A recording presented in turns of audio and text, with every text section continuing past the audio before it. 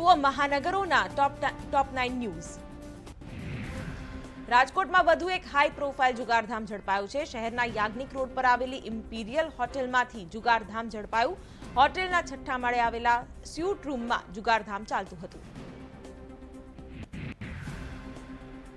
રાજ્ય સરકાર દ્વારા સરકાર હસ્તકની યુનિવર્સિટીઓમાં નિયંત્રણ મુદ્દે કોંગ્રેસ આક્રમક મૂડમાં. કોંગ્રેસના અગ્રણી અને સેનેટ સભ્ય રાજદીપસિંહ જાડેજા દ્વારા યુનિવર્સિટી ખાતે ઉગ્ર સૂત્રોચ્ચાર સાથે વિરોધ દર્શાવાયો. રાજ્યની યુનિવર્સિટીઓમાં હોદ્દાની રૂએ અધિકારીથી આપવામાં આવતી સેનેટ, સિન્ડિકેટ કે અન્ય પદની નિમણૂક પ્રક્રિયા હાથ ધરતા પૂર્વે સરકારનો પરામર્શ કરવો પડશે. રાજ્ય સરકારના નિર્ણયને મનીષ દોશીએ યુનિવર્સિટીના હક પર તરાપ ગણાવી છે. ગુજરાત સરકારના પ્રયત્નો અને નાગરિકોમાં જાગૃતતાને કારણે ગુજરાતમાં મોટા ભાગના લોકોએ રસી લઈ લીધી છે, જે અંતર્ગત રાજ્યની પાંચ મહાનગરપાલિકાઓમાં પ્રથમ ડોઝનું સો વેક્સિનેશન થઈ ચૂક્યું છે.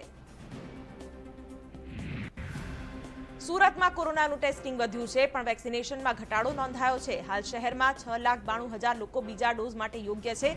ઘણા ખરા લાભાર્થીઓ બહારગામ ગયા હોવાથી વેક્સિનેશનની કામગીરી મંદ પડી છે.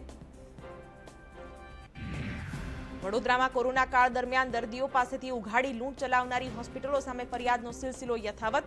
વડોદરામાં પાછલા દસ દિવસમાં જ વધુ પાંત્રીસ ફરિયાદ સામે આવી, જેમાં સ્ટર્લિંગ હોસ્પિટલ સામે વધુ ચૌદ દર્દી દ્વારા ફરિયાદ દાખલ થઈ છે. વડોદરામાં હિન્દી વિકાસ મંચ દ્વારા છઠ પૂજાનું આયોજન રદ કરાયું છે. આ વર્ષે પાજલપુર, વડસર, મહીસાગર નદીના કાંઠે છઠ પૂજા નહીં થાય. તંત્ર દ્વારા માત્ર ચારસો લોકોની જ મંજૂરી મળતા આયોજન રદ કરાયું છે. અમદાવાદમાં પણ છઠ પૂજાની ઉજવણી કરવામાં આવી હતી. આ દરમિયાન ભક્તોએ આસ્થાની ડૂબકી લગાવી, એટલું જ નહીં અને છઠ પૂજા કાર્યક્રમમાં મહાઆરતીનું પણ આયોજન કરાયું. વીર નર્મદ દક્ષિણ ગુજરાત યુનિવર્સિટીએ હિન્દુ અભ્યાસમાં નવો અનુસ્નાતક અભ્યાસક્રમ શરૂ કરાશે. યુનિવર્સિટીમાં આર્ટ્સ ફેકલ્ટીમાં પ્રથમ વખત હિન્દુ ધર્મ વિષય તરીકે ભણાવવામાં આવશે. આમ વીર નર્મદ દક્ષિણ ગુજરાત યુનિવર્સિટી આ પ્રકારનો અભ્યાસક્રમ ચલાવનારી રાજ્યની પ્રથમ યુનિવર્સિટી બનશે.